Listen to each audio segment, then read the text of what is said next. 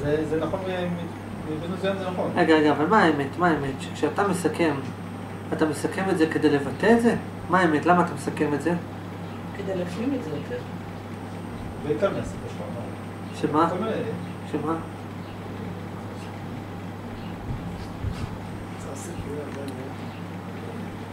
אולי אתה פשוט רגיל, אולי הרגילו אותך. גם בגלל זה. יפה. עכשיו בוא נתקדם. לא, כי זה, כי זה לא רק לבטא, כי לפני שאתה מבטא, זה דורש ממך אה, מאמץ אה, מסוים של אה, הבנה. לא כל דבר שאני, שאני אה, מבין, אני יכול לכתוב אותו. בהכרח. מסוים. שבא לידי ביטוי זה עוד רמת הבנה מסוים. מה הוא אומר? הוא אומר כזה דבר. ברגע שאתה כותב, זה כאילו סוג של מבחן עבורך אם הבנת מה שמעת. סוג של. יש שני סוגי אנשים שכותבים. יש בן אדם ששומע ואומר, אוקיי, עכשיו בוא נכתוב, בוא נראה אם הבנתי. כי לכתוב זה בעצם להגדיר. זאת אומרת, אני אומר מלל, אני מגדיר הגדרה כלשהי, והמלל נכנס לך למוח, אתה אומר, בוא נראה אם הבנתי מה הוא אמר. עכשיו, איך נראה אם הבנתי מה הוא אמר? בוא נראה אם אני מסוגל לכתוב את זה. עכשיו, אם אני מסוגל לכתוב את זה, זה כאילו, האם אני מסוגל להגדיר את מה ששמעתי. משהו כזה. אבל יש סיבה אחרת, יותר עיקרית למה לכתוב. רגע, חכה, חכה, אנחנו חכה, אנחנו עוברים, אנחנו מדברים על זה, שנייה. אנחנו לא לשלב, לא, זה לא בהכרח שלב שלב, זה עוברים כמה סיבות. יכול להיות שזה לא שלבים, יכול להיות שזה... בסדר. אוקיי, עכשיו, עכשיו, הדבר הזה, מה האמת שלו? מה האמת שלו? שהוא נכון.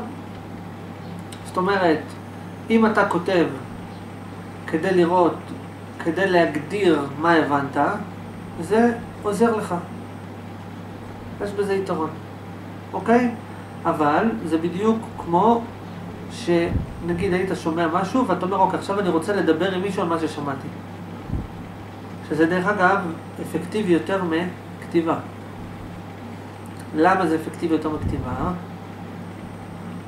או זה יכול, זה יכול להיות אפקטיבי יותר מכתיבה. למה זה יכול להיות? תכף נבין מתי זה פחות אפקטיבי מכתיבה.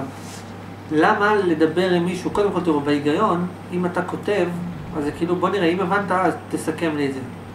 אם אתה רואה שאתה לא יודע לסכם, אז לא הבנת. אוקיי? עכשיו. עכשיו, בדיבור, נגיד שאתה מדבר עם מישהו, נגיד אתה שומע הרצאה, ואתה אומר, ועכשיו אני אדבר על זה עם מישהו, זה גם בודק, בוא נראה, אם הבנת, אני אראה אותך מסביר לו. עכשיו, למה יש יתרון בלהסביר? בוא תסתכל, יתרון וחיסרון של כתיבה על דיבור. איפה היתרון? בוא נניח ששניהם נותנים לך להגדיר את מה ששמעת קודם. נניח, אוקיי? עכשיו, איפה יש יתרון בדיבור עם בן אדם אחר, ואיפה יש יתרון בכתיבה? זה ביחס לחיסרון שיש בדיבור עם בן אדם. מה החסרון של בדיבור עם בן אדם? לכאורה, לכאורה עדיף לדבר עם... רגע, למה לכאורה עדיף, דרך אגב, לדבר עם בן אדם? למה זה יכול להיות עדיף? אומר, כי בן אדם יכול לשאול אותך שאלות. הטקסט, אתה יכול לכתוב מה שאתה רוצה, והוא לא שואל, אומר לך, תקשיב, אתה כתבת פה דבר לא ברור. אתה, זה נראה לך הגיוני, וזהו. אבל בן אדם אחר, אתה אומר לך, רגע, לא הבנתי אותך. אה, אז אתה צריך להסביר יותר טוב, נכון? אה? אז, אז עדיף, אז עדיף לדבר עם בן אדם, כי אם אתה כותב טקסט, אם אתה רק מסכם בטקסט, סיכמת, עכשיו אה, הטקסט לא אומר לך, תקשיב, יש לך פה שגיאה, כתבת פה דבר לא הגיוני, תראה, זה לא מסתדר, רגע, משהו לא ברור לי, אין, אתה, ואתה בטוח שסיכמת, ואומר, הנה, עשיתי סיכום. אבל אם אומרים לך, טוב, עכשיו תסביר את זה בבקשה להוא שמה, ואז אתה מתחיל להסביר לו, ואז אתה פתאום רואה שלא הבנת. נגיד, אתה בטוח שהבנת משהו, את, ואז פתאום בא איזה אחד שהוא כופר באתאיזם כזה, נגיד, ואומרים לך, טוב, אם הבנת, תסבירי לו. ואז אני מתחילה להסביר לו, ואת רואה שהוא לא מבין, אתה, הוא פתאום שואל אותך שאלה שאת אומרת, רגע, מה זה השאלה הזאת? רגע, איך אני מסבירה לו, איך זה עכשיו? אז אם היית מבינה עד הסוף, היית יכולה להסביר לו עד הסוף. אבל אם הוא לא הבין, אז לא, את לא הבנת עד הסוף. אם את לא הצלחת להסביר לו, סימן... אני אחדד, אני אחדד, לא אם לא הצלחת, אם, אם רצית להסביר לו ולא הצלחת להסביר לו, סימן שאת לא הבנת. זאת אומרת, הרבה אנשים חושבים שהם הבינו, אז אומרים לו, טוב, אין בעיה, אם הבנת, תסביר להוא שמה. אז אתה מתחיל להסביר לו, אתה רואה, אתה לא מצליח. זה סימן שלא הבנת כל כך, הבנת חלק. עכשיו, כשאת, עכשיו, איך אתה יודע מה לא הבנת? כשאתה מסביר למישהו, השאלות שהוא שואל אותך ואין לך תשובה, זה מראה לך מה לא הבנת. נגיד שיש משהו שאת חושבת, אין, הבנתי את זה. אוקיי, עכשיו לכי תסביר, והבנתי גם שזה נכון. עכשיו לכי תסביר את זה למישהו, ואז הוא ישאל אותך שאלות. איפה, איפה שתראי שאין לך תשובה, או שאת לא מצליחה לשכנע אותו, זה סימן שלא הבנת. אז לכאורה מה עדיף? עדיף לדבר. אז למה לפעמים עדיף לכתוב? מאותו סיבה בדיוק, לא, מאותו סיבה בדיוק עדיף לכתוב. מול הדף, יכול לכתוב את כל הרעיון מההתחלה עד הסוף בלי שמישהו יפריע לך, ואז להצליח לסכם אותו כמו שצריך. ולהעביר אבל לך אותו. תדע, אבל הדף, רגע, אבל לך תדע, אבל הדף לא אומר לך לא כתבת נכון. הרבה פעמים בן אדם מדבר איתך, ו- זאת אומרת, אתה מסביר לבן אדם והוא באמצע קוטע אותך עם שאלות, ואז הוא מפריע לך לגמור את כל הרעיון. טוב, בוא נניח שהוא לא קוטע אותך בשאלות והוא נותן לך לדבר את כל הרעיון. אה? אז לכאורה, פה אתה יכול לכתוב עד הסוף, וגם הבן אדם נותן לך לדבר עד הסוף. איפה היתרון בלכתוב? מתי יש יתרון בלכתוב, מתי יש יתרון בלדבר?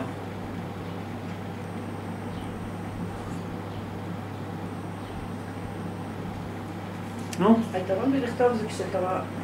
זה, זה עוזר לך כאילו להסביר את זה לעצמך. כשאתה רואה את הכתב, אתה יכול אה, לשנות. כן, אבל, אבל אתה יכול לעבוד על עצמך, כי אתה חושב שהבנת ולא הבנת, אבל מישהו בא ואומר לך, רגע, לא הבנתי. כן, אבל כשאתה כותב אתה יכול לראות איפה... איפה... אני אתן לך דוגמה, את יכולה אתה לכתוב סותר את משפטים... עצמך, כאילו. נכון, איפה אתה... אבל ברגע שאת מסבירה למישהו, הוא גם יכול לשאול אותך שאלות. את- הנייר לא שואל אותך שאלות, לא אומר לך, תקשיבי, לא הבנתי מה, כן, מה רצית. נכון? יפה. אבל היתרון הזה זה גם חיסרון, שמה? שהוא נותן את האינפוט שלו. וזה יכול... זה עלול להזיז אותך... לא, לא, לא, לא, לא. מההיבט הזה, אז גם אל תכתוב, כי אם אתה תכתוב, אולי תגלה שלא הבנת, אז עדיף שתשאר בתחושה שהבנת. תראה, אם המטרה הייתה להאמין, אתה צודק. תקשיב, אמרו לך משהו, תכתוב את זה, אל תדבר על זה עם אף אחד, שלא מישהו פתאום יגיד לך הפוך, אוקיי? אבל בהנחה שהמטרה היא להבין. אז אדרבה, כמה שתדסקס את זה יותר, תבין יותר, נכון? אז, אה, אז מה, איזה יתרון יכול להיות בלכתוב על פני, על פני לדבר עם מישהו? נו, מה התשובה? יכול לדבר עם מישהו, זה יכול להיות שלאדם פחות, אה, קשה לו להיות, מבחינה מסוימת קשה לו להיות אמיתי כלפי מישהו מאשר כלפי הנייר. כלפי מישהו הוא מפחד, אה, הוא כאילו רוצה לא להיות בקונפליקט איתו, ואז עלול... אה, אתה אומר את מה שהוא אמר עכשיו. את אותו דבר, אתה אומר כי אם מישהו יחשוב אחרת ממך, אתה תסכים איתו. לא, לא. בהנחה שאתה לא, אתה נלחם עד הסוף. מי מחדד אותך יותר? אני תלמיד או כתיבת נייר? התלמיד, נכון? אז למה לפעמים כתיבת הנייר מחדדת אותך יותר מהתלמיד? שם אתה פוגש את עצמך, כאילו, את ה... אבל הנייר לא שואל אותך שאלות. אבל אז אתה, אתה יכול לבקר את עצמך, אתה יכול להיות יותר בפוקוס כלפי המחויבים שלך, כאילו. אני אסביר את מה שהוא אומר, אני אעמיק את מה שאתה אומר. הנושא פשוט, השאלה היא, בסופו של דבר היא כזאת, השאלה היא באיזה תהליך מה שגורם לך לחדד את ההבנה שלך, סתם בשבילך תראי איך מנייר פיתחנו שיחה, ראית? זה נקרא, זה נקרא להעמיק.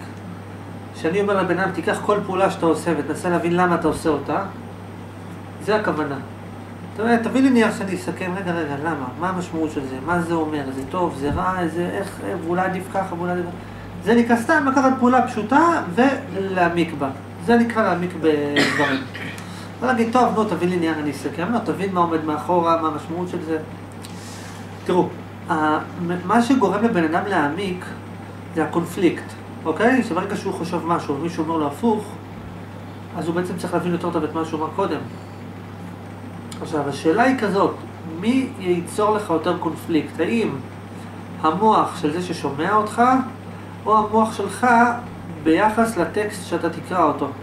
זאת אומרת, יכול להיות מצב שאתה מדבר עם בן אדם טיפש, שהוא לא יודע לשאול שאלות, שהוא בן אדם מאמין, ואתה תגיד לו משהו, וזה יישמע לו הגיוני, והוא יגיד לך וואלה, אתה צודק.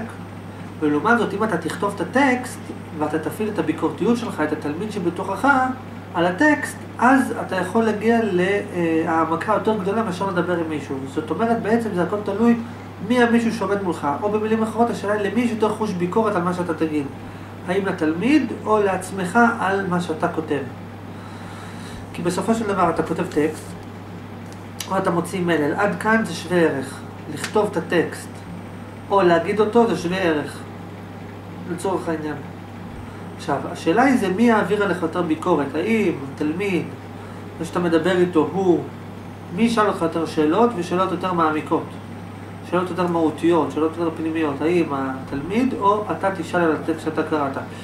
ולכן יש מצבים שאתה יכול לתת הרצאה שלמה, נניח, ולדבר וכולם יחאו לך כפיים בסוף ההרצאה, אבל אם אתה תבוא תכתוב מה אתה אמרת, אתה פתאום תראה, רגע, אבל אני לא הבנתי משהו. למה? כי אתה יותר חכם מכל מי ששמע אותך, ואתה מעביר ביקורת על עצמך יותר טוב מכולם. לכן, מההיבט הזה, לפעמים יותר טוב לכתוב. אוקיי? עכשיו, בואו נחזור לקודם. אז מה אמרנו? אחד היתרונות בלכתוב, כי כאשר אתה כותב, אתה מגדיר. נכון? כאשר אתה כותב, אתה מגדיר. עכשיו, תהליך של הגדרה מחויב, שהוא עוזר לך להבין. מחויב. למה? כי הבנה פירושו הגדרה. להבין משהו, פירושו להגדיר אותו בתוכך. לתפוס אותו בצורה מוגדרת בתוכך. ולכן, לכתוב טקסט, כאשר המטרה שלו היא לראות, להגדיר יותר טוב עבור עצמך מה הבנת, מחויב שהיא עוזרת לך יותר טוב להבין את מה שלמדת, ויש בזה רק יתרון מההיבט הספציפי הזה. זאת אומרת, אני ניסיתי לראות האם לזה, האם יכול להיות שזה שאתה מנסה להגדיר, האם יכול להיות שיש לזה בכלל חיסרון, זה גורם לך לא להבין. אז מה עשיתי כדי, ואז מה עשיתי? ראיתי מחויב. למה? כי ההגדרה של להבין זה להגדיר, וההגדרה של לכתוב זה להגדיר. אז אם ההגדרה של לכתוב זה להגדיר, וההגדרה של להבין זה להגדיר, מחויב שאם אתה כותב על מנת להגדיר, אז, אה, אז זה גורם לך להבין. אתה הבנת איך אני הבנתי שזה מחויב הקשר? אתה הבנת מה ניסיתי להבין בכלל? מאיפה הבאת את זה שלהבין זה להגדיר? מי אמר שלהבין זה להגדיר? אז תבדוק את זה. אוקיי, אז זה כבר היה לך. זה נושא אחר, כן. אוקיי. להבין זה להגדיר, ולכתוב זה להגדיר, ולכן זה מחובר. כי אם אתה לא מגדיר, אז מה זה נקרא להבין? מה זה להבין? היכולת להגדיר, להכיל את הדבר בתוכך בצורה מוגדרת. כי אם הוא לא מוגדר, אתה אומר, אני לא מבין את זה כל כך. משהו כזה. אוקיי. פתרון הבא? אה? אפשר רגע, רגע, חכה, חכה, חכה, חכה, חכה. עכשיו ככה, עכשיו, עכשיו איפה פה הבעייתיות? הבעייתיות היא כזאת, שזה מתחבר למה שאמרתי קודם. מה שאמרתי קודם, כי לפעמים הכתיבה היא כאילו תהליך של הגדרה, אתה כאילו מגדיר עבור עצמך מה הבנת, אבל פה זה תלוי מי אתה. מה זאת אומרת? לא, אבל יש פה, תבינו משהו מסוים, שזה תלוי מי אתה. מה זאת אומרת זה תלוי מי אתה? כי לפעמים אדם כותב לא בשביל להגדיר, הוא כותב בשביל לזכור, נגיד. אז לפעמים הוא לא מבין מה הוא שמע, אבל הוא אומר, טוב, אני ארשום, אני אבין את זה אחר כך. זאת אומרת שהתהליך של, ה- זאת אומרת שתהליך הכתיבה לא בהכרח עזר לו. הוא לא באמת ניסה, הוא לא כתב להגיד, רגע, בוא נראה מה הבנתי, אלא הוא כתב כדי לזכור מה הוא שמע. ואז בעצם זה תהליך של אמונה, זה לא תהליך של הבנה. זאת אומרת, זאת אומרת שאם בן אדם אומר, אני שמעתי, עכשיו אני רוצה לסכם את זה במילים שלי, לראות מה הבנתי. זה סבבה. אבל אם הוא אומר, טוב, אני שמעתי, אני רוצה לכתוב מה שמעתי, ואני אקרא את זה אחר כך, ואני אתבונן בזה אחר כך, וזה. משהו כזה. אז הוא בעצם לא הגדיר.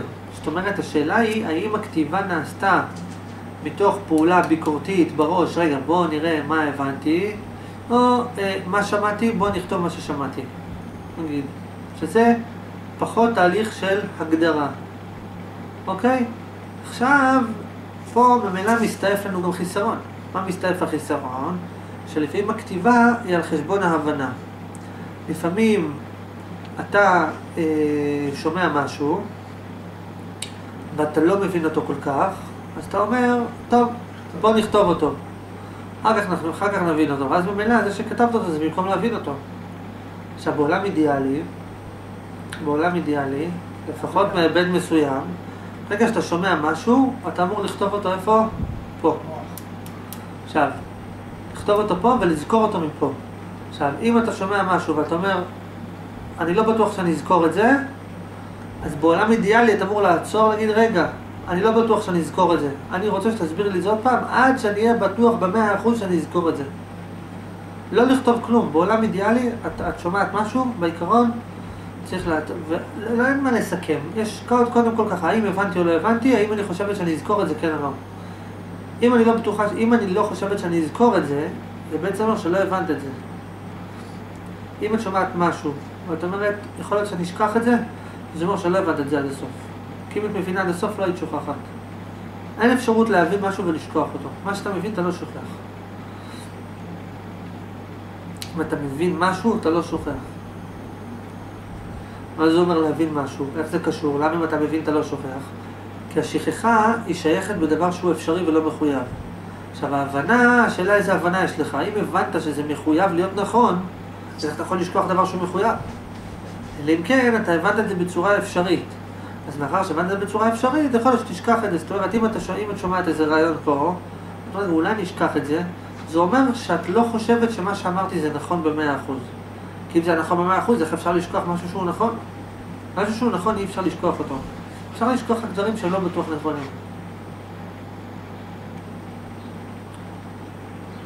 בכל מקרה, מה שאני בא לומר, שבעיקרון, כשאתה שומע משהו, אתה אמור להבין אותו עד שתזכור אותו.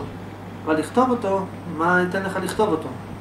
כאילו אם, אם, עכשיו, ברמה הפרקטית אנשים כותבים, כי אלה אומרים, אני לא יכול לעצור אותו, אי אפשר לעצור, אני אכתוב, אני אבדוק את זה אחר כך.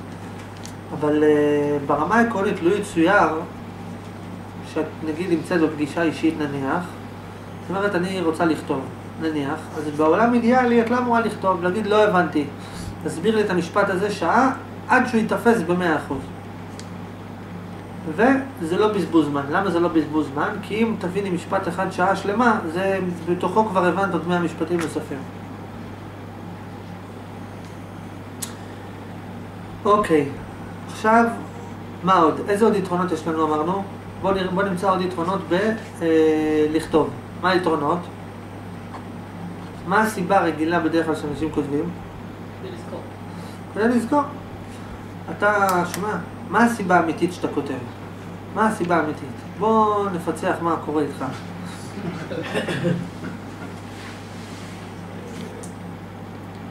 מילא אם היית מקליד את זה, היה בזה עוד תועלת נוספת. אתה לא מקליד, רק כותב את זה, מה נעשה עם הכתיבה? אתה קורא את זה אחרי זה? מה? לפעמים אני קורא בזה. גם לך לחזור מזה, אני רוצה, וגם אה, בגלל שזה, אני מבין יותר טוב מבחינה מסוימת. מרגיש לך שאתה מבין יותר טוב. כן, שאני- יכול להיות בגלל שאתה כותב, אתה מבין פחות טוב, רק נראה לך שאתה מבין יותר טוב. זה זה שתי הסיבות העיקריות. נגיד, אני- לא עוד חיסרון. נגיד שאני- שאני שאני כותב, אני בדרך כלל הרבה פעמים גם, זה גם גורם שאני לא זוכר. נכון, למה? כי אני, כאילו אני מסתמך על הכתיבה שלי. בדיוק. לא. מה הוא בדיוק, מה הוא אומר, הוא אומר כזה דבר, שלפעמים כשאתה כותב, אתה אומר, טוב טוב, כתבתי את זה. אבל לא יודע, כאילו, כי אם אתה, כי אם נגיד אומרים לך, תקשיב, עכשיו אומרים לך את המספרים של הלוטו, של הפעם הבאה, אין לך נייר. אין, אתה חייב לזכור את זה, אין נייר, אוקיי? עכשיו, מה קורה אם יש לך נייר? אתה אומר, אין בעיה, אני אכתוב את זה בנייר, ואז הנייר הולך לאיבוד. וואו, איזה חבל שהיה לי נייר, כבר עדיף לזכור את זה וזהו. זאת אומרת, שברגע שכתבת, זה סוג של הסרת אחריות, זה סוג של טוב, לא משנה, לא, בסדר, זה כתוב לי, כשאני ארצה אני אסתמך בזה אחר כך.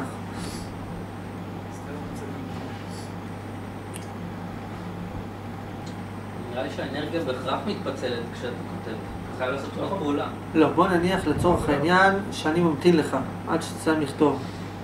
נניח נגיד נחסוך את ההיבט הזה. אני אומר אף פי כשאתה כותב, כי אם אתה לא כותב, אתה אומר אני חייב להבין, אם אני לא מבין הלך עליי. אז כל פעם, אז, אז אתה כאילו יותר קשוב. אתה יותר קשוב, רגע, הבנתי? לא הבנתי, הבנתי? לא הבנתי. חייב להבין את זה, אין פה, כי ואתה אומר, אני אזכור את זה, אני אזכור את זה, אני אזכור את זה. ואם, למה שאני לא אזכור את זה? מה הבעיה? מה הספק שלי? אם אתה כותב, אני אומר, טוב, כתבתי את זה, בסדר. כאילו שתי פעולות אתה עושה. אם אתה שומע, רק שומע, ואתה גם רוצה להבין על, מה אתה שומע. אם אתה כותב ושומע, אתה רק שומע וכותב, וזהו. אתה לא, בוא נניח שאתה שומע, רק שומע ואחר כך כותב. רק שומע וכותב. לא, בוא נניח שזה לא בו זמנית, בוא נניח שאתה שומע, לא כותב תוך כדי, ואז עושים הפסקה, אתה כותב, ממשיכים את המשפט הבא. נניח שאין את הבעיה הזאת. עדיין המוח של הבן אדם אומר, טוב, כתבתי את זה. כאילו, בסדר, אני זוכר את זה דרך הנייר. אני אומר שמה ש...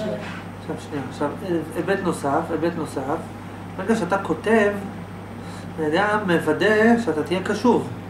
היבט מסוים שאתה כותב, אתה לא קשוב, בהנחה שהדיבור הוא ברצף. כי אם ממתינים לך, אין בעיה. בהנחה שלא ממתינים לך, אז אם אתה כותב, אתה קצת פחות קשוב, אבל בהיבט אחר זה מוודא שתהיה קשוב. כי לפעמים אתה רק שומע, יכול להיות שהראש שלך ברח לאיפשהו. אבל אם אתה כותב, אתה אומר, אתה כאילו מרוכז, אתה לא יכול לברוח לא- לאיזה מקום אחר. שיש בזה עוד משהו מעניין. כי אם הוא יכול גם להקשיב וגם לכתוב, זה בעצם אומר שיש לו עוד עודף יכולת ריכוז. כי תראה, כי אם אתה גם יכול להקשיב, וגם המוח שלך יכול לברוח, זה אומר כאילו החלק שהתאמץ בלכתוב ברח. ואז לקח אחריו גם את החלק שהקשיב. אבל אם אתה כותב, אז זה כאילו סוג של עוזר לך להתרכז, כי זה כאילו מפקס אותך, אתה, אתה לא יכול לברוח לאיפשהו. עכשיו, איזה עוד חיסרון יש בלכתוב? אני אסביר לכם מה החיסרון. שאם אתה שומע, אה? תראו, אם אתה שומע, אז אה, גם, גם בזה יכול להיות חיסרון, אבל בוא ניתן חיסרון בלכתוב, שהרבה פעמים אתה בטוח שאמרו לך את מה שכתבת. יכול להיות שאמרו לך משהו אחר. יכול להיות שהורד, נגיד אני אומר משפט, ואת כותבת את המשפט והורדת את אחת המילים. ואת אומרת, אה, אני כתב, ואחר כך אתה עוד חוזר על זה עוד פעם, עוד פעם, עוד פעם. אתה אומר, זה מה שהוא אמר, לא, אבל אמרתי, הוספתי עוד מילה, הורדתי מילה, אמרתי משהו אחר, אתה כתבת מה שהבנת, לא מה ששמעת. מההיבט הזה, דרך אגב, עדיף, עדיף אולי אפילו לכתוב מה שאתה שומע, תכתוב מה ששמעת בדיוק. תחזור על זה אחר כך דרך השמיעה. כאילו, דרך, ואחר כך תנסה להבין את זה, כי כל מילה יש לה משמעות. עכשיו, מההיבט הזה, גם הדבר הזה נקרא לכתוב. זה המצלמה כותבת. היא כותבת הכל. אם אתה רוצה, אז אתה יכול לראות מה, אם זה למטרת לזכור, יש לך כתוב. אז מה ההבדל? אז לכאורה, אם יש לך את זה כתוב בווידאו, אז למה אתה כותב את זה על נייר כדי לזכור? מה התשובה? איך זה יכול להיות? לא, אבל לכאורה, אם המטרה של הכתיבה היא רק למטרת זכירה. בוא נניח שהכתיבה היא רק למטרת להיזכר. למה אף על פי כן יש היגיון לכתוב, למרות שיש לך מצולם בווידאו את ההרצאה? נניח שמטרת הכתיבה היא רק בשביל לזכור, עדיין, למרות שיש לך וידאו, עדיף לך מהיבט מסוים, מהיבט מסוים. יש לזה גם את החסרונות, אבל מהיבט מסוים עדיף לך לכתוב, למרות שיש לך את זה בווידאו. מה היתרון של לכתוב? אחד היתרונות זה משהו שאתה כתבת אותו, לא... אבל זה חיסרון. זה שאתה כתבת אותו זה דווקא חיסרון. זה יתרון. לא, זה רק חיסרון. למה זה רק חיסרון? כי אם אתה מנסה ללמוד מעצמך, אתה לא צריך גם להיות פה. הרי אתה, אתה מנסה ללמוד ממישהו אחר. אז עדיף לך שאחר כך שאתה חוזר על המלל, לחזור על המלל מהמקורי, לא לחזור על המלל מה שאתה כתבת. אם אתה מנסה ללמוד מעצמך, תקרא אחר כך את המחברת. אם אתה מנסה ללמוד ממני, אז אחר כך תראה את הוידאו עוד פעם. אם אתה אומר, לא, לא, מה שאני הבנתי אותו זה מספיק טוב.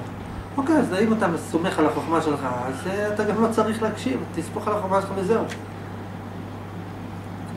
כן, לפעמים שאתה, צורת התפיסה מסוימת שלך, שאתה חוזר עליה, היא יותר מחדדת אותך מאשר אתה שומע. לא, היא יותר מקבעת אותך בתפיסה הקיימת.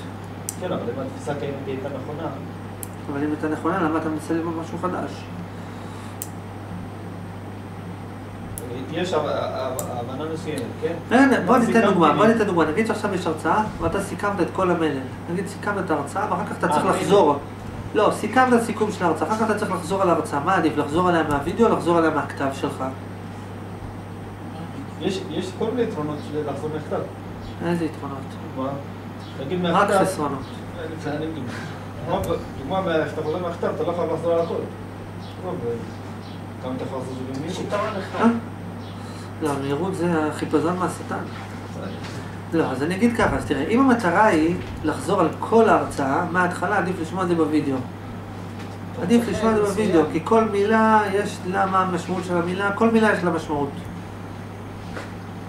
יש ספרים, בעיקרון, שאתה יכול לסכם את כל הספר בשלוש מילים. ויש ספרים אחרים, שאתה יכול לקחת שלוש מילים מהספר ולכתוב עליהם ספר של פירוש. עכשיו, יש כאלה שמדברים הרבה מלל, ואתה יכול לסכם את כל מה שאמרו, אפשר לסכם בשני משפטים. את כל הוידאו בוא נסכם בשני משפטים וזהו. ויש לפעמים שכל מילה יש לה משמעות. מה המשמעות של המילה הזאת, מה המשמעות של המילה הזאת. ומה זה תלוי? זה תלוי בדובר. אם הדובר מודע למילים שהוא מוציא מהפה, אז יש משמעות לכל מילה שהוא אומר. אם הדובר לא מודע למילים שהוא מוציא מהפה, אז הוא יכול לספר סיפור שלם, וזה סתם דברים בטלים. היה אפשר לעשות דילית בכלל. אה? טוב, עכשיו, אז אלא מה, שאם אתה רוצה לשמוע את הכל מההתחלה, אז עדיף דווקא לשמוע את הוידאו. ויש לזה עוד סיבות, למה? כי בוידאו יש לך גם כן אה, את האלמנט של הוויזואליות. לפעמים יש העברת מסרים באמצעים אה, חז- חזותיים, מה שנקרא. אוקיי, לעומת זאת בטקסט, מה היתרון של הטקסט? הטקסט הוא נועד רק אם אתה רוצה לאתר רעיון ספציפי. אבל לו יצויר שהייתה טכנולוגיה יותר מתקדמת, שלוקחת וידאו ואתה אומר איפה הוא דיבר על זה ועל זה ומקפיצה אותך לשם, עדיף, ש, עדיף שתראה את זה בווידאו ולא מהטקסט. ויש משפט לרבי נחמן שאמר, אינו דומה השומע תורה מפי הצדיק לשומע מפי מי ששמע לקורא בספר. לא דומה, יש לך, זה תמיד יורד ברמות. הכי טוב זה באונליין, זה גם יותר טוב מהווידאו.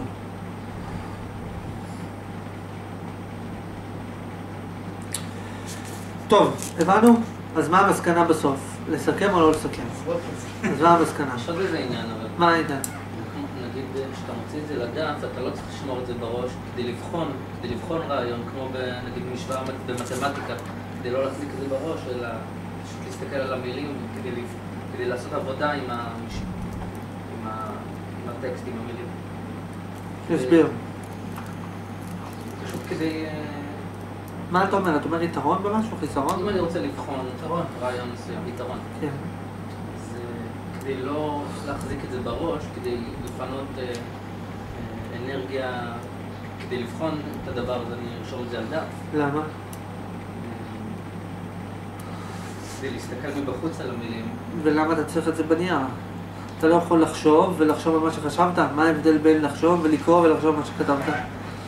מה ההבדל בין לחשוב על מה שכתוב ולקחת משפט ולחשוב עליו? מה ההבדל? אז אני צריך לפצל את החשיבה שלי למילה פה אתה צריך. לפצל את החשיבה שלך. אפילו פה זה יותר מורכב. כי הטקסט מחוץ עליך, אתה צריך, לח... הרי תקשיב, הרי כשאתה מנתח טקסט, הרי בסופו של דבר אתה מכניס אותו לפה עוד פעם כדי לנתח אותו, לא? כן, אבל אז אני יכול לפנות, לשים את זה בצד, להגיד, אוקיי, בוא נתעסק עם החלק השני של המשפט, אולי נחזור לזה, אולי... גם פה אתה יכול לעשות אותו דבר, בחשיבה, להגיד, טוב, בוא נתעסק בחלק השני של המשפט. פה אני אשכח, פה... למה שתשכח? למה שתשכח? יש משהו בזה שהמשפט רשום, שלא, שלא צריך להתעסק איתו יותר. שזה, זהו, זה רשום, זה בדיוק. החיסרון. לא, מה אתה אומר בעצם? נגיד שיש איזה משהו שאתה רוצה לבחון אותו. בוא נכתוב אותו ונבחן אותו, ואז לא נשכח כלום. אני יכול להגיד מה זה המילה הזאת, מה זה המילה הזאת, אולי יש מילה אחרת, אולי... כאילו, אני יכול ממש... אה, אבל ב- בעולם אידיאלי אתה אמור לעשות את זה במוח שלך, אתה לא אמור לכתוב את זה. אולי ב- ברמה של אימון. כן. של אימון. בעולם אידיאלי, נכון, זה כמו מתמטיקה, אני מניח שגאונים למתמטיקה עושים את זה כבר בראש, דברים מאוד מסובכים, אבל ברמת האימון הם עובדים עם הדף כדי אה, לאמן את עצמם. לא בהכרח. לוח. רק תזכור שכשאתה לוקח דף, מה הוא אומר? הוא אומר כזה דבר, לפעמים אתה נגיד חושב על משפט ואתה רוצה לבדוק אותו. אז מה שהוא אומר זה שאם אתה תתחיל לנתח אותו בראש, אתה יכול פתאום לשכוח איזה חלק. אז עדיף אה, אה, כאילו לכתוב אותו, ואז אתה לא שופך שום חלק של המשפט.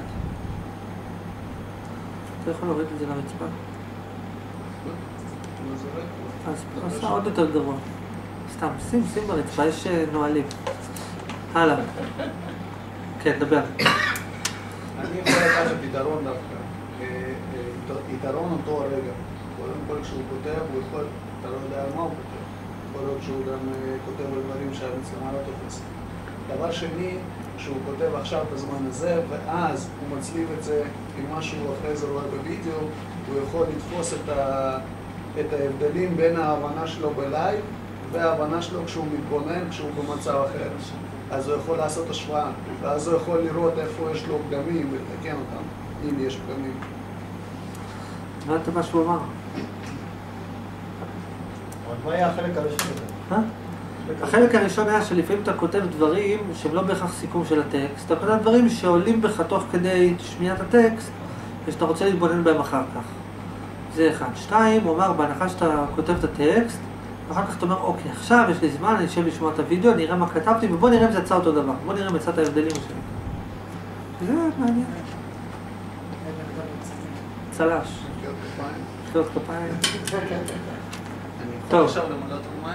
כן. טוב, הבנו את הנושא הזה? הבנו שאלות? מה המוסר השכל של מה שדיברנו עכשיו? מה המוסר השכל? למרות שגם עוד לא ברור מה צריך לעשות בסוף. אוקיי, אז מה צריך לעשות בסוף? אז מה עושים בסוף באמת? מה הסוף? מה השורה התחתונה? לסכם או לא לסכם? כן. אבל אם תכתבי זה, זה לא לזכור. טוב, התשובה היא כזאת, בסופו של דבר המטרה היא שתהיה מודע ליתרונות ולחסרונות, ותנסה לשים לב שאתה מושך את עצמך לכיוון של ההבנה ולא לכיוון של החסרונות. אולי שם אתה מבין דברים, אתה יכול, אתה, אתה קודם צריך לזכור אותם, אתה צריך קודם לזכור בעולם אותם. אידיאלי זה לאבד ביותר זה לשמוע. משפט ולשבת עליו עד שתבין אותו, זה הכל, עד שתבין אותו וכולי וכולי וכולי, בתוכך עד שתבין אותו ותזכור אותו והכל בלי נייר, בלי כלום. זה בעולם אידיאלי. למה? כי המידע אמור לבוא מתוכך, לא מהנייר. אז אם ככה, אז לא היו בכלל לומדים בבית ספר לכתוב. אז רק היו שומעים את המורה וזהו. למה מלמדים? מה למה מלמדים? לאנשים לכתוב? לכתוב מה? לא יודעת, עומד מרצה, אנשים כותבים. מי אמר שזה טוב? דרך אגב, הרבה אנשים שמצליחים במבחנים זה אלה שלא כותבים כלום. לא יודעת את זה. כן, רק אם הם גאונים. לא נכון. ואלה שכותבים? מה זה מראה לך שהגאונים מעדיפים לא לכתוב, אז מה המסקנה? אולי אם לא תכתוב, אולי אם לא תכתבי, גם את תצליחי, כי הם אותם מקשיבים פשוט. ויש להם קליטה יותר... בעיקרון, אתה כותב דברים כן. שאין להם משמעות עבורך. זאת אומרת, אם אתה מבין את מה שאמרו, אין להם פה מה לכתוב. אם לא הבנת, לא לך שתכתוב. אבל אם אתה אומר, אוקיי, נתנו לי מידע יבש, נגיד בשנת 1900 ומשהו, איך אני אזכור את זה? זה רק לזכור, אין פה מה להבין, או שאתה זוכר או שאתה לא זוכר. ואז אתה כותב, נגיד, כי זה מידע שאין לו משמעות, זאת אומרת שמישהו אחר יזכור את זה במקומי. ואז אתה זוכר את זה בזיכרון לטווח קצר, לפני המבחן אתה חוזר על זה כמה פעמים, ואז אתה זוכר את זה.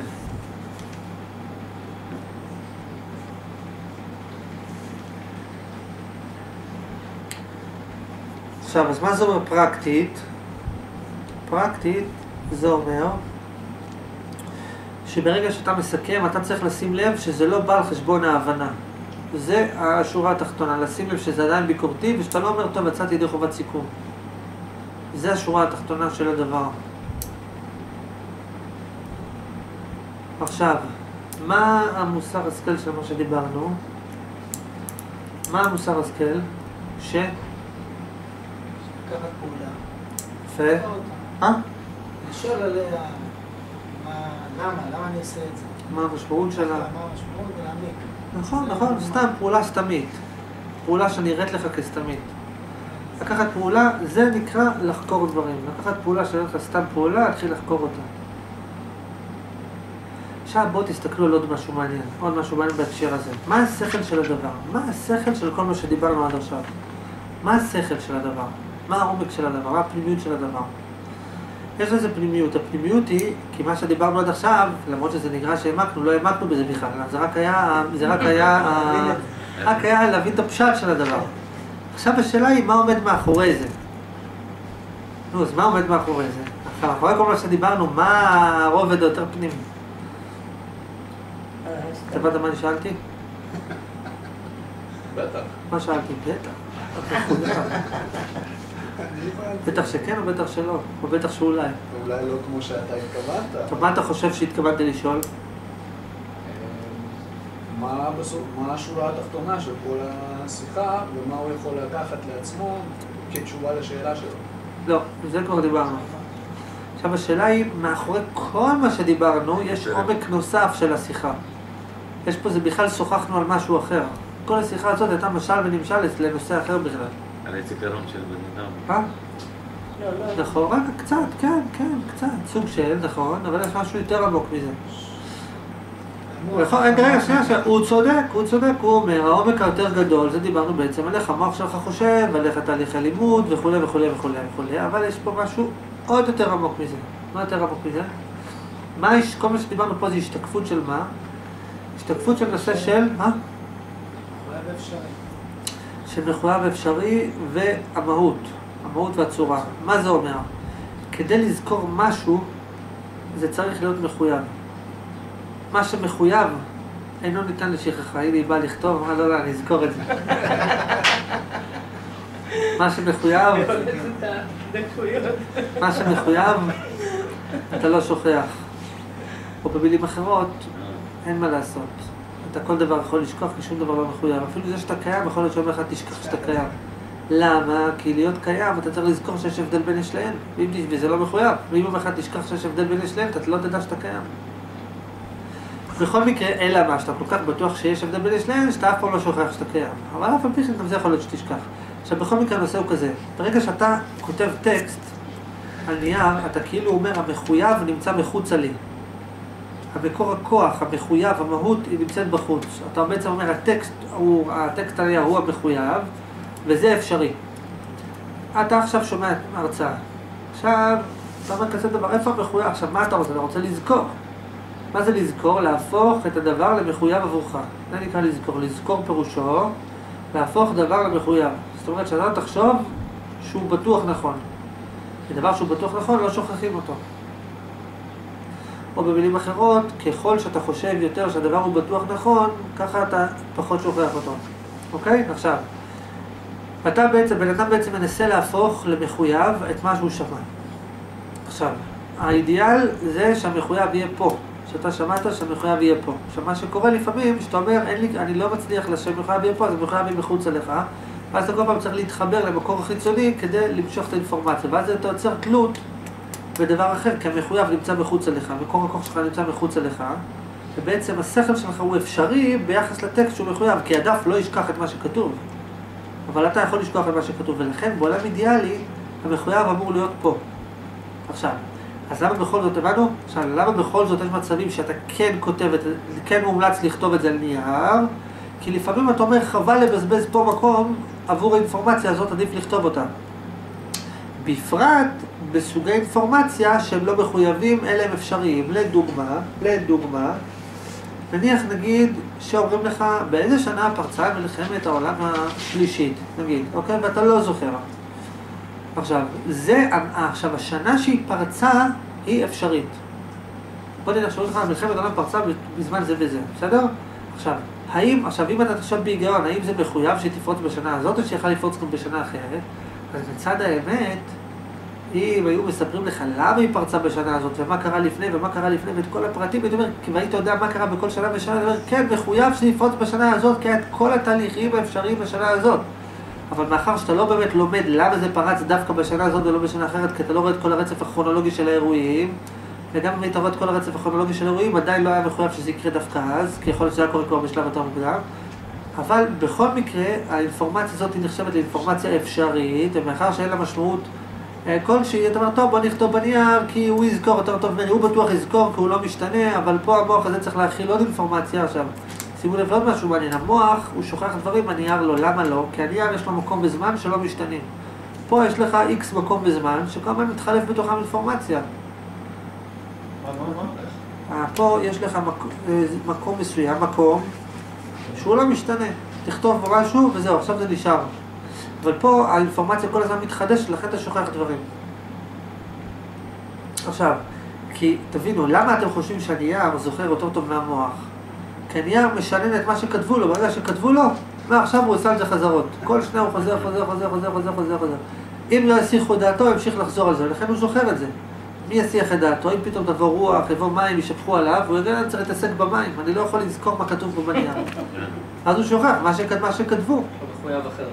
נכון, נכון, אבל עכשיו אני צריך להתעסק בבעיות של המים, מים מנסים להשמיד אותי, אני לא יכול עכשיו להתרכז מה שכתוב פה, והוא שוכח הרבה פעמים מה שכתוב. כן, ואז אתה צריך לעשות לו תהליך של ריפוי, אתה צריך לרפא אותו מהמים, ולהגיד לו, לא, אל תדאג, הוא לא מאיים על הקיום שלך, בוא נראה מה היית קודם. אז ככה, אתה משחזר את אבל אתה הטקסט. רוצה לזכור. אה? עכשיו, אז אני אומר כזה דבר עוד פעם, השאלה היא איפה המחויב. אז אם האינפורמציה היא לא מחויבת, אם האינפורמציה היא לא מחויבת, אז אתה כותב אותה בנייר, שהנייר יזכור את זה במקומך. אבל אם האינפורמציה היא מחויבת יותר, אז אתה אה, זוכר אותה. עכשיו בוא נעמיק את זה עוד קצת, בוא נעמיק את זה עוד קצת. זה לא רק מה יותר מחויב, אתה זוכר יותר טוב, זה גם מה אתה מבין אתה זוכר יותר טוב. ככל שאתה מבין יותר את הדבר, ריכוז, ככל שאתה מבין יותר טוב את הדבר, ככה אתה זוכר אותו יותר טוב. עכשיו השאלה היא איך זה יכול להיות. למה? מה השאלה פה? מה, רגע, לא, לא, מה השאלה פה? יש פה שאלה מעניינת. כי אם נגיד אומרים לך, מלחמת העולם פרצה בשנת זה וזה, אתה מבין את זה הכי טוב. צריך יכול להיות שאתה לא זוכר את זה. אתה הבנת את השאלה אתה? מה הבנת את השאלה? לכאורה, מה אמרנו? שאם אתה מבין יותר טוב, אם אתה מבין יותר טוב, אז אתה תזכור את זה. אבל אז אם אתה נותן לי נתון מסוים, אני מבין אותו מיד. זה וזה קם בשעה כך וכך, והלך בשעה זאת וזאת. זה משהו נתון יביא, נתונים יבשים. אז אני אמור לזכור, אני אמור להבין, אני מבין את זה מיד. אני מבין את זה, אתה להבין. נכון, אז איך יכול להיות שדווקא אם אתה מבין את זה יותר טוב, אתה זוכר את זה פחות? זה של הקשרים. אין הקשרים, כאילו. רגע, רגע, שנייה. אבל אם אתה מבין, אתה אמור לזכור, נכון? מצד ההגדרה שאומרת שאם הבנת, אתה זוכר. אז למה אם הבנת שמלחמת העולם פרצה בשנת זה וזה, שכחת? אה? השאלה מה זה הבנה. אה, מה ההגדרה של הבנה. כי אם זה רק אם הבנת או לא. אז הנה, הבנתי, ולא זוכר את זה. הבנתי ולא זוכר. נגיד ייקחו מילה בסינית, יגידו לך, מה פירוש המילה הזאת? זה. הבנת? הבנת. אחרי שעה אתה זוכר? לא זוכר. איך יכול להיות? אבל הבנת. שהבנה זה סגירה. השאלה אם זה הבנה, בדיוק. מה זה הבנה? השאלה מה זה הבנה. אז מה זה הבנה? אבל אני מבין שידיעת סיבתיות הדבר. אולי ואפשרי מאוד. אני אגיד לך. עכשיו תיקח מילה בסינית. יגידו לך, השאלה נהיית עוד יותר קשה, תיקח מילה בסינית. יגידו לך, אה, מה מה פירוש המילה? פירוש המילה זה שולחן, נגיד. עכשיו, ותשאל, מה סיבתיות הדבר? יגידו לך, זה מחויב בצד עצמו. אין סיבתיות גדולה מזו, נכון? איזה סיבה, איזה סיבה יותר טובה יכולה להיות מהדבר מחויב בפני עצמו? הרי אם תשאל בסיני, אם תשאל סיני, ולמה שולחן אומרים ככה? הוא יגיד לך, כי זה ככה, אומרים שולחן, נכון? זה הכי מחויב. אז איך יכול להיות שהדבר שהבנת אותו ושהוא הכי מחויב, ושכחת אותו? לא הבנת? מחויב בזה. שים לב. אם זה זה נקרא מחויב. איך אני בודק רמות של הבנה? יש הבנה. אף על פי כן, אבל ככה מתחילות הצרות. אתה צריך ללמוד שצרות מתחילות בדברים שלא יוצרים צרות. השלישי. כן. טוב, אתם הבנתם את השאלה? אתה הבנת את השאלה? כן. אוקיי, מה השאלה? מה הייתה השאלה? השאלה, אם אדם שומע, אה, נגיד תאריך מסוים, אירוע מסוים, אז מצד אחד, באותו זמן שהוא שומע, הוא מבין זה כאילו הבנה מלאה. נכון. אף על פי כן, אחר כך הוא זוכר פחות את הדברים. אז מה אתה. ניסית לומר? מה? אמרת, לא תלוי מה זה- הבנה, או מה זה רמות של הבנה. נכון. אבל אה, אם הוא- אם הוא- אם הוא תופס את זה בתפיסה מסוימת, אז סימן שהוא מבין את זה ברמה מסוימת. אולי מבין בכלל לא תופס אותו. לא כנראה שיש רמות של הבנה. לא מה שאתה שומע זה קל להבין. אז לכאורה זה הכי ברמה מסוימת, מחויב. כן. אם לא אם לא הייתי מבין את זה בכלל לא הייתי תופס את זה. טוב, אז מה התשובה? מה התשובה? רמות של הבנה. מה קשור רמות של הבנה? מה, יש משהו יותר מלהבין של... יש לי שאלה, איך קוראים כן. לזה? קיר, נכון? למה קוראים לזה קיר? גם מצד עצמו. גם מצד עצמו. באמת קשה לזכור, אה, לא לגבי זה. המילה הזאת זה צריך- שציני צריך לקשר למשהו. לא, יש פה עומק, יש פה עומק, יש פה עומק נוסף. רק כי... ביחס לדברים אחרים שאתה יודע אולי. מה? הבנה. אבל הפוך, אבל אם אתה אומרים לך שמילה בסינית הפירוש שלה הוא משהו מסוים, אז זה כאילו הבנה הכי גדולה.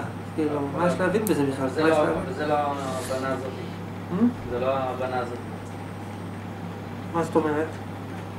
אתה לא בהכרח תזכור את המילה הזאת בסינית, אלא תזכיר לך דברים אחרים שאתה יודע כבר. למה, למה, למה? מה ההבדל? לא. הפוך, הפוך, אני אשאל, אתן לך יותר מסובך. נגיד שיקחו מילה בסינית, ותשאל מה הפירוש של המילה הזאת, ויגידו לך, אתה יודע, המילה הזאת זה בעצם מבטא שילוב של שלושה, של שלוש מילים נוספות בסינית. יש פחות סיכוי שאתה תזכור את זה. אז מה, אתה אומר שזה... אלא אם אני יודע מה המילים האלה. אני מכיר אותם, אני יודע אותם כבר. ושאומרים לך זה שולחן, מה, אתה לא יודע מה זה שולחן? אתה גם יודע מה זה שולחן, אז למה אתה שוכח? לא. עוד פעם, אתה אומר שאם ההבנה מחוברת לכמה דברים נוספים, אז אתה תזכור אותה. להבנות אחרות. כן, אבל גם כשאומרים לך שהמילה הזאת, הפירוש שלה הוא שולחן. אתה מבין מה זה שולחן? אתה מבין מה זה המילה? מבין מה זה שולחן? כן, זה לא מחייב אותי שאני אזכור את זה. זה לא מחייב אותי שאני אזכור. השאלה היא למה. למה זה לא מחייב? השאלה היא כזאת, לא, לא, השאלה היא כזאת. אם אמרנו שההבנה, להבין את זה. שנייה, השאלה היא כזאת, אם אמרנו שההבנה יוצרת זיכרון, אז למה אם הבנת למה שבסינית זה... לא. ההבנה. לא, אז למה ההבנה לא... לא, לא, לא, לא. יוצרת... אם אמרנו שההבנה יוצרת זיכרון, אז איך יכול להיות שכשאתה מבין שמלחמת העולם פרצה בשנת זה וזה, אתה לא זוכר את זה, הרי הבנת את זה. לא. זיכרון. זה לא שהבנת בסדר, שאלה אם אתה יודע. לא קודם כל- את המילים רק, כשהבנת את המשמעות, את ה... רק את ה... למה הבנת, אבל זה לא לא הבנת למה. לא הבנת איך. אמרנו שמה שאתה מבין, אתה זוכר, נקודה. חשוב, לא חשוב, אתה זוכר. אם הבנת, אתה זוכר. אז לא הבנת. ואם חשוב לך לזכור את זה ולא הבנת, אתה גם לא תזכור. השאלה כמה הבנת, כמה זה מחויב עבורך. אמרנו, אם זה מחויב אתה זוכר, אם אתה מבין זה מחויב. אז לא הבנת. לפי לא הנוסחה הבנת. הזאת. נכון, אבל אמרו לך שבסינית לקיר אומרים איקס. הבנת את זה, נכון? יכול להיות הבנת שהיא... שמלחמת העולם פרצה בשנת זה וזה, אז למה אתה לא זוכר?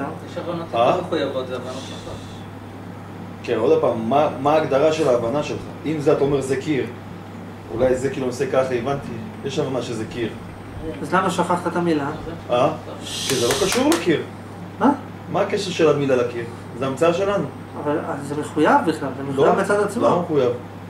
אז למה באמת לזה קוראים קיר? כי זה רנדומלי, קראו לזה שפה, וזה קיר, זה אז וול. למה זה ככה? אה? כי ככה קוראים לזה. כן. יפה, אז זה בכלל התשובה הכי טובה, לא? כי ככה קוראים לזה, זו הסיבה הכי. טובה. נו. נו, אז כי ככה, אז אז אתה- כי ככה קוראים לזה, אה, ככה קוראים לזה, אני חייב לפי לזכור את לפי זה. מה שאתה אמרת, אם אני מבין, אז אני אז, אה, אני זוכר בטוח. נכון, מחויב. נכון. יפה. אז בוא נגיד... למרות, למרות, למרות שאם תבין משהו במאה אחוז, אתה לא יכול לזכור אותו, כן, אתה לא יכול לזכור אותו, אתה יכול לשכוח אותו, אתה לא יכול להבין אותו. אם הוא במאה אחוז, אז קוראים מה להבין בו. אבל בוא נלך מה- על כן, החצי. נו, נו, אוקיי. לפי ההגדרה. אז אם אתה אומר ואני לא זוכר, אז אני לא מבין. אם אני זוכר, נכון. אז אני לא מבין. מה? אם אתה אומר, אני, אם, אם אני, אם אני מבין, אז אני זוכר. נכון. ואם אני לא מבין, אז אני לא זוכר. אז אם, נכון. אז זאת אומרת, אם הוא אמר לי מילה, אז, אז, אז לא הבנתי. נכון, אם שכחת אותה. כן. זה, זה יכול להיות, אבל הבנת את מה שהוא אמר. תראו, זה דומה, יש פה לא. כמה תשובות, בואו שנייה, יש פה כמה תשובות. קודם כל, זה דומה לבן אדם שאומר, אין, חקרתי את עצמי, אני מודע לעצמי, אני כבר זה, אוקיי, מה חקרת? גיליתי, אני יודע מה אני רוצה, אתה יודע מה אתה רוצה? כן, אני יודע מה אני רוצה, מה אתה רוצה? רוצה להרגיש טוב. אתה אומר לו, אוקיי, ולמה אתה רוצה להרגיש טוב? לא יודע. עכשיו, מה זאת אומרת? מה זאת אומרת? זאת אומרת, המהות של השאלה היא כזאת, האם בעצם אתה מבין מה מחייב את הדבר להיות ככה ולא אחרת? עכשיו, להגיד כי ככה החליטו, זו תשובה נכונה, זו תשובה נכונה כי ככה החליטו, אבל אתה לא מבין, אבל למה ככה החליטו? אתה לא מבין מה מחייב את הדבר להיות ככה ולא אחרת. זאת אומרת, גם כשמישהו, זאת אומרת, גם כשמישהו אומר לך, אתה יודע, בסינית קוראים לזה ככה, הרי גם כשהוא, ולמה קוראים לזה ככה? כי ככה החליטו, עדיין תוך כדי זה הוא בעצם מעביר לך מסר שאומר, אתה יודע, אבל גם יכול לקרוא לזה אחרת. זאת אומרת, חווייתית אתה חווה שהאינפורמציה היא אפשרית ולא מחויבת. כי כשאתה שומע את המידע, כשאתה שומע את האינפורמציה, את, למה? אבל אמרו לך שככה, למה קוראים לזה? כי ככה קוראים לזה, שזה נכון. אבל מצד שני עדיין, אבל עדיין, עדיין גם הדובר וגם השומע, שניהם מסכימים שבאותה מידה שככה קוראים לזה, גם יכלו לקרוא לזה אחרת. בשפה אחרת יכול להיות זה... יכלו לקרוא, בוא- יש לך אפילו איזה באותה משהו שפה יכול לקרוא לזה אחרת. כאילו לחייב אותו? שאין לך, כאילו, שאתה חייב לזכור אותו? כן. מה? חוץ מה... סתם, סתם מה שאני אגיד עכשיו זה לא מחויב, אבל בעיקרון מחויב שאם היית מגיע קודם היית מבין יותר טוב, כי דיברנו על זה כבר קודם. אתה יודע, אני צריך לשלם לך, זה צריך לעבוד. שלם אבל אתה מחיר שזה שלם. אתה גם יכול לעבוד בלילה, בשעות אחרות. כן, אבל השתדלתי. טוב, לא משנה. אה, אוקיי, אוקיי, עכשיו אני רוצה לתת לכם, אה, רגע, אבל תבינו את הדבר, כי בן אדם, תבינו משהו. בן אדם שאומרים לו בסינית, שולחן אומרים איקס, הוא הבין את זה בדיוק כמו שבן אדם אומר, הבנתי שאני רוצה להרגיש טוב. הבנתי, איך זה עזר לי? והוא אומר, והבנתי מה אני רוצה וזה לא עזר לי. לא, לא, ומה זה אומר להרגיש טוב? ולמה אתה רוצה להרגיש טוב? לא יודע. אז מה אתה אומר שהבנת? מה זה, אבל כשבן אדם שואל, אני רוצה להרגיש טוב, תשאל אותו מה זה להרגיש טוב, הוא יגיד לך, לא יודע. נכון. נו, אז איך הוא החליט שהוא רוצה להרגיש טוב? זה, הוא לא יודע, זה זה הקטע. זה הקטע, ונניח שהוא יודע, ולמה אתה אומר, ולמה אתה רוצה להרגיש טוב? לא יודע. זה כמו לשאול, הם קוראים לזה בסין ככה, אבל למה ככה? לא יודע. טוב, עכשיו יש עוד תשובה נוספת יותר מתוחכמת מזה. כן, כן, כן. ברור, מה חשבת? אחר כך, אחרי את כל מה שדיברנו, את כל מה שדיברנו, אחר כך ניתן לזה עוד עומק נוסף. יש לזה עוד שכבה, עוד עומק. נחבר ונהפוך. עכשיו, יש לזה עוד היבט. ההיבט הנוסף הוא בכלל בהפוך על הפוך. אם דבר הוא פשוט מדי להבנה, אתה גם כן לא יכול לזכור אותו. בדיוק הפוך. הסיבה שאתה מביא, הסיבה שאתה זוכר דברים זה בגלל שאתה לא מבין אותם. אם היית מבין אותם, לא היית זוכר אותם. לזכור ללכת. לא, ללכת אתה זוכר. שנייה. לא, זה לא נכון דרך אגב. אתה יודע, אלה. שטסים, לחלל, כשהם כן. חוזרים לכדור הארץ, אה, הם שוכחים אבל ללכת. זה בגלל שהשרירים שלהם לא... זה, לא הם לא עומדים לא, בעומס זה גם שלהם. קטע של שיווי משקל. בסדר. זה כמו לנהוג באורך, אתה צריך ללמוד פעם אחת, אחר כך זה הופך להיות התנהגות אה, נניח. נניח, נניח. בואו נמשיך רגע אחד. אני אומר כזה דבר. דבר שהוא מחויב במאה אחוז, אתה לא יכול לזכור אותו. אתה אמנם לא שוכח אותו, אבל אתה גם לא זוכר אותו. לזכור, מה זה לזכור בכלל? מה זה לזכור? לזכור פירושו שאתה מודע לאינפורמציה. מה זה לזכור? לזכור פירושו שאתה באופן מודע יודע את הדבר. עכשיו, דבר שאתה בטוח במאה אחוז שהוא נכון, אתה לא זוכר אותו. כי אין לו הפך, אז אם אין לו הפך, אתה לא חושב עליו. כמו לדוגמה, כשאתה מדבר עם מישהו, אתה לא חושב, אני קיים. כאילו, אתה לא זוכר שאתה קיים. כי זה ברור שאתה קיים. כאילו, אין מה לזכור בזה. אז אתה יכול, כן, אני זוכר את זה. באמת, זכרת את זה? לא, לא זכרתי. איך לא זכרת? כי זה נכון, מה יש לזכור? זאת אומרת, מהיבט מסוים, כדי לזכור משהו, הוא צריך להיות מורכב קצת.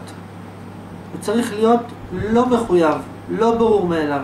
זאת אומרת, אם אומרים לך, תקשיב, בסינית קוראים לזה ככה, כי ככה, מהיבט מסוים, זה הכי מחויב. אבל מצד שני זה מחויב מדי. זה כאילו זה, זה מחוץ לשכל כזה, זה כאילו, אין לזה הפך. אז כאילו, מה, מה שהיא, כאילו, אתה לא מבין את זה מרוב שזה פשוט. זה כמו שאומרים לך, אתה יודע מה התשובה לכל השאלות? שאין הבדל בין יש להם בין שום שאלה. נגיד משהו כזה, זה לא, כאילו זה לא יכול להיות, מה כל השאלות נפתרות בדבר הזה? זה לא הגיוני, כאילו מרוב שזה פשוט. לכן אתה לא מבין את זה, מרוב שזה פשוט אתה לא מבין את זה. לפעמים דברים, בגלל שהם פשוטים מדי, אתה לא מבין אותם. נגיד לדוגמה, אתה בא אליי, אתה שואל שאלה, ואני אומר לך, אתה רוצה את האמת? אין שאלה בכלל, אתה לא בטוח שיש שאלה.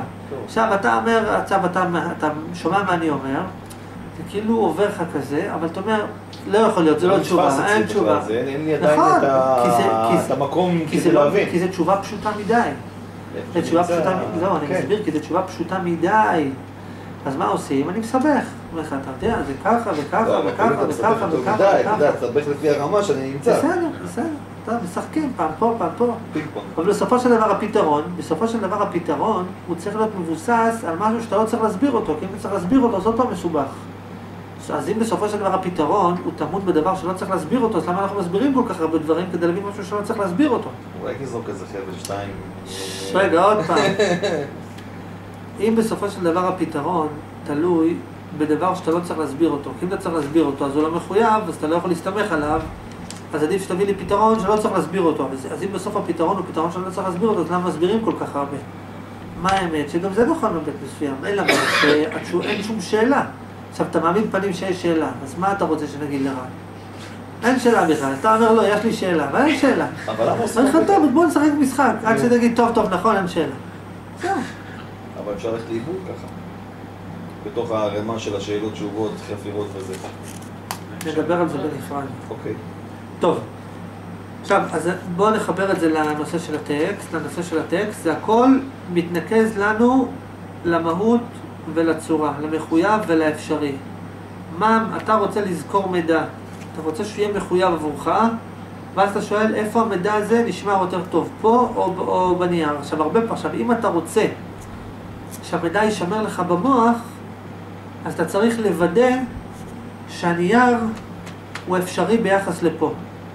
זאת אומרת, אם אתה כותב כדי לזכור, אתה אחר כך צריך בעולם אידיאלי לעבור על הטקסט ולראות שאתה, שאתה יודע מה כתוב בו בלי לקרוא אותו. אפילו לדוגמה, לדוגמה, לדוגמה, קח את הטקסט, תקרא את, את כל הסיכומים שלך שכתבת בשנה האחרונה, עכשיו תיקח מחברת חדשה ותסכם את זה, קח את הסיכומים, תסכם אותם, את הסיכומים בסיכום חדש, אחר כך תעשה השוואה בין שתי המחברות ותראה, רגע, למה שכחתי את זה? זה אומר שלא הבנתי. כי המטרה היא שבסוף זה ייכתב פה. כי אם אתה אומר, טוב, יש לי את זה מסוכם, אז בעצם אתה הצורה והטקסט הוא המהות. אתה צריך שפה יהיה המהות ושזה יהיה הצורה, עד כדי כך שזה לא יהיה צריך את זה בכלל את הנייר.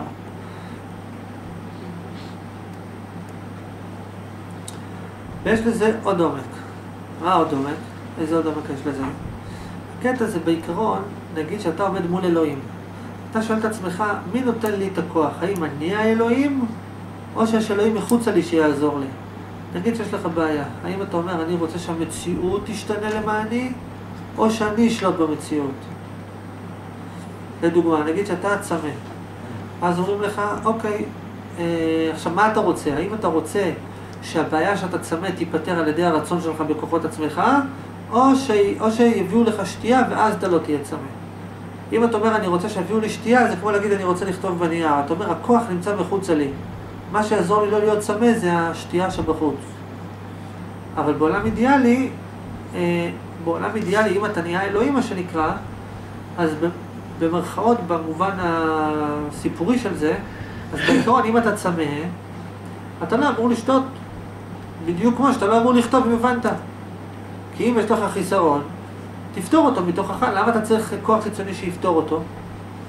אבל יש בזה עוד עומק מסוים, עוד עומק מסוים, שבעיקרון השאלה היא, כשאתה רואה צורה, כבר טבענו מכל. ועדיין אנחנו מדברים בשפת בני אדם. עדיין- עדיין הכל הגיוני יחסית. יש לזה עוד עומק מסוים, ש- אה, רואה צורה, האם היא אפשרית או מחויבת? כי בעצם ברגע שאתה לוקח את המלל ואתה כותב אותו פה, אתה בעצם אומר, זה המהות, זה הצורה, במובן שיש הבדל בין מהות לצורה. אבל בעולם אידיאלי לא אמור להיות הבדל בין מהות לצורה מכמה היבטים. קודם כל, שאם פה זה מחויב, גם פה זה אמור להיות מחויב. שהכוח לא אמור להיות מחוץ אליך, הכוח אמור להיות בתוכך. להגיד הכוח אמור להיות בתוכך, זה בעצם להגיד המהות אמורה להיות בתוכך, זה בעצם להגיד המהות אמורה להתגלה דרכך, זה בעצם להגיד שאין הבדל בין מהות לצורה. עכשיו, מה זה אומר? זה אומר שאם לדוגמה, נגיד אני אומר לה, למה את כותבת? תזכרי את זה לבד, ובעצם להגיד לה, למה את חושבת שאת לא מושלמת? את מושלמת. מה הקשר? מה הקשר? אני אסביר את הקשר. להגיד למישהו, למה אתה כותב תזכור את זה בראש? זה בעצם להגיד לו, אל תחשוב שהכוח הוא מחוץ עליך, שהכוח יהיה בתוכך, אוקיי? עכשיו, להגיד למישהו, אתה, למה אתה חושב שאתה לא מושלם? למה בן אדם חושב שהוא לא מושלם? כי הוא אומר, אני ישות חסרה, אני צורה, ישות חסרה, והמהות של המציאות היא אינסופית, היא מחוצה לי. עכשיו, מתי בן אדם מרגיש שהוא מושלם? כשהוא רואה שאין הבדל בין מהות לצורה. ואז במילה, אם אין הבדל בין מהות לצורה, אז המציאות לא מושלמת יותר ממני, ואני לא פחות מושלם ממנה, לצורך העניין. פה שנייה, עוד פעם, תחזור אפילו קצת. בפשיטות. בין המהות לצורה. אני רק רוצה להראות. לכם איך הכל מתחבר. לקחתי את זה כדוגמה, השיחה הזאת היא דוגמה לאיך אתה לוקח את הנייר הזה ומחבר אותו לזה שאין הבדל בין יש להן. הרי תמיד שאלתם איך בסוף מגיעים מהנייר לאין הבדל בין יש להן. אז הנה עכשיו הייתה שיחה ארוכה שאתה אחר כך אם תרצה תקשיב לה. עכשיו זה לקחנו איך מתוך החקירה של הנייר, איך השכל שלו זה שאין הבדל בין יש להן. איך הגענו? אז הנה אנחנו מגיעים. רגע, איך החלק שני הבדל? הבנתי. אני אסביר לך. אני אסביר לכם. תראו, אין הבדל בין יש להם. קודם כל בוא נלך על המושלם, אחר כך נדבר על ההבדל בין יש להם. למה בן אדם חושב שהוא לא מושלם? כי הוא אומר, המושלם זה המציאות. המהות של המציאות היא מושלמת, היא אינסופית. לעומת זאת, אתה, בתת מודע שלך, לעומת זאת, בתפיסה שלך את עצמך, אתה חושב שאתה ישות סופית מצומצמת, מאחר שאתה ישות סופית מצומצמת, אז אתה לא מושלם. עכשיו, כשאין הבדל בין מהות לצורה, אז אתה לא חסר את השלמות, כי אתה והשלמות זה אותו דבר. אוקיי? וזה מלובש ב... אל תכתבי, תזכרי. אל תכתוב תזכור, פירושו, אל תכתוב תזכור, פירושו שהשלמות תהיה בתוכך. אוקיי. אחר כך אני אסביר לכם למה גם הפוך. אם אומרים למישהו אל תזכור תכתוב, זה גם כן אומר השלמות בתוכך. למה זה גם הפוך? ואם אמרנו לו, אתה לא צריך לזכור, תכתוב, איפה בזה אמרנו לו שאתה מושלם? מושלם, הבדל אבל בין תכתוב לבין... מה? לא, אבל כשאתה אומר לו, אתה לא. צריך לזכור שאני אהיה לזכור במקומך, בעצם אמרת לו, אתה לא מושלם. לא, אבל הוא מושלם, אין לו חיסרון, מה? לא... שנייה. לא הבנתי עדיין את ה... הפכת את זה שהמהות... תראה, למה בן אדם מרגיש שהוא לא מושלם? מי אמר שמות וצורה הם אחד, זו שאלה אחרת, אבל אני אומר כזה דבר. אה, בן אדם מרגיש שהוא לא מושלם. למה? כי הוא מבדיל בין מהות לצורה. מה זה אומר? הוא מבדיל בין עצמו, שזה ישות סופית, לבין המציאות, שהיא סך כל הדברים בבת אחת. עכשיו, שזה אומר בעצם הוא מבדיל בין האפשרי, שזה הוא, לבין המחויב, שזה המציאות. הוא חושב שיש אני שזה אפשרי, ויש מציאות שזה מחויב. הוא לא מבין שהוא והמציאות אותו דבר. מה, אני והמציאות אותו דבר? הנה, זה מציאות וזה אני, אנחנו שניים שונים. לא, זה אותו אחד. מה אותו אחד? אנחנו שונים, לא אותו אחד. עכשיו, להגיד למישהו, אל תכתוב, תזכור, זה בעצם להגיד לו, למה מחויב מחוץ אליך? המחויב בתוכך צריך להיות. תתמקד שהמחויב יהיה בתוכך, תגלה את אלוהים שבתוכך. תהיה אתה אלוהים. אל תגיד אלוהים בחוץ שיעזור לי, אתה תעזור לעצמך. לכן, דרך אגב, אנשים דתיים מסכמים יותר. למה אנשים דתיים מסכמים יותר? כי הם רגילים לתת את הכוח לבחוץ. האם זה מחויב מה שאמרתי? לא מחויב, אבל זה רק סוג של אה, משל כזה. כאילו, אפילו תבינו, אפילו תבינו מה שזה אומר, שאפילו בן שכותב נייר הוא סוג של מאמין באלוהים, כי מי האלוהים שלו? הנייר. הוא אומר, הנייר יציל אותי, אם אני אשכח, יש לי נייר שאני אתפלל אליו, הוא יזכיר לי מה, מה דיברו איתי. זה גם סוג של להאמין באלוהים, כי אתה לוקח כוח, ואתה אומר מחוץ עליך. אבל אם הזיכרון שלך חלש? אז אתה תחזק אותו, אתה תהיה אלוהים. זה כמו להגיד, ואם אני לא יכול, תתאמץ עד שתצליח, בכוחות עצמך. כמו שתגיד, בשביל מה אני אסע באוטו, זה האלוהים שלי, אני אלך ברגל לעבוד. לא, בשביל מה אני אלך ברגל לעבודה? אני אשאר בבית ויהיה לי טוב מהבית. נכון. זאת המטרה באמת, שתגיע למצב שאתה לא צריך ללכת לעבוד. לא, אתה לא מעדיף לא ללכת לעבוד. טוב, עכשיו בוא נתקדם. איך הגענו מזה שאין הבדל בין יש להן? איך הגענו לזה שאין הבדל בין יש להן? כי אין זה מהות ויש זה צורה. עכשיו, אם אומרים לך אל תכתוב, תזכור, מפה, מפה האין זה. מפה היש זה, כי זה האפשרי יש, המהות זה אין, כי אין זה אין סוף, זה כלום, כלום הוא יחסית מחויב ביחס ליש. ואז אומרים לך, אה, אתה צריך שלא יהיה הבדל בין הזיכרון שלך לבין הטקסט, זה כמו להגיד אין הבדל בין יש לאין. זה אותו דבר. עכשיו, כאילו, ולמה? אז יש, המעברת זה אין. כן, כי אין זה כלום, והכלום הוא כאילו השורש של כל מה שישנו, ואז הוא כאילו המחויב. אבל לא אמרנו שפה זה עכשיו הופך להיות המהות, ברגע שאני לא מסתמך על זה. נכון, אז המטרה היא, אז זה המטרה היא יש שלא יהיה הבדל. אה? אז אני המטרה היא שזה יהיה אין. נכון, נכון, שלא יהיה הבדל בין יש לאין, נכון, נכון, נכון. לא, אז אתה אתה אומר לו, אל תכתוב, הבנתי. אה? צריך להגיד לו, לא משנה. לא להגיד לו, אל תכתוב. אבל מה אני אמרתי לך? לא אמרתי לך שזה לא משנה אם תכתוב או לא. לא, אני מדבר סתם. אבל זאת הייתה התשובה בסוף, לא? מה? עכשיו תתרכזו. אתה איתנו? מה אמרתי? מה אמרתי לך אבל בסוף שזה משנה אם תכתוב או לא? אמרתי לך, זה לא משנה. נכון, למה? אבל, אבל, אבל שימו לב לעוד יותר, כי אני, מה אמרתי שזה לא משנה בהתחלה? כי אמרתי בהתחלה, מה היתרונות והחסרונות של לכתוב או להקשיב? אמרתי, יכול להיות שהיתרון של להקשיב זה כי אתה לא זוכר ואולי יותר טוב שלא תבין. זאת אומרת, מהיבט מסוים להגיד זה לא משנה, זה כי אין הבדל בין מהות לצורה, ולכן בסופו של דבר אתה גם לא צריך להבין בכלל, ולכן אם אתה כותב, אתה אפילו גורם נזק, כי אתה מנסה להיות משהו שאתה לא. ואתה כבר מושלם עכשיו, למה אתה מנסה לזכור? אל תזכור. תקשיב, עכשיו, עכשיו, בקיצור, אני אגיד לך מה קורה פה. איפה. שאתה לא הולך, אתה לא יודע, רגע, תמתין, תעצור. זה המשך של משהו ספציפי. עכשיו, עכשיו, עכשיו, עכשיו, עכשיו, עכשיו. למה אם אתה אומר למישהו, אתה לא צריך לזכור, תכתוב, זה גם להגיד לו, אלוהים בתוכך, זה גם להגיד לו, אתה מושלם, כי זה בעצם להגיד לו, אתה לא חסר את האינפורמציה. כי כשבן אדם מנסה, לכ- כי להגיד למישהו, תקשיב, למה אתה כותב, תזכור, מצד אחד אתה אומר לו, תהיה אלוהים, אתה מושלם, אל תבדיל בין דמות לצורה, תהיה אתה אלוהים, תהיה אתה המושלם. אבל מצד שני אתה בעצם אומר לו, תקשיב, אתה לא אלוהים, אתה לא מושלם, אתה צריך לזכור את מה שאמרו לך, כי אם אין לך את האינפורמציה, אתה בחיסרון. אבל כשאתה אומר למישהו, תקשיב, אתה לא צריך לזכור, תכתוב, זה מספיק טוב שזה יהיה כתוב, אתה בעצם אומר לו, תקשיב, אתה מושלם, אתה לא צריך... אה,